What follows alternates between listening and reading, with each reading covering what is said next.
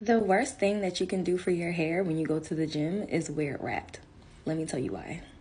If you sweat from your head, all of the hair that's closest to your scalp is going to get wet. And if it gets wet, it will be frizzy when you try to take your wrap down. Now, baby, I am not an expert, but what works best for me is wearing my hair in a ponytail and putting a sweatband around my edges to capture all of the moisture. This way, if I do sweat a lot at my scalp, I won't risk messing up the entire silk press, just the hair of my scalp. You feel me?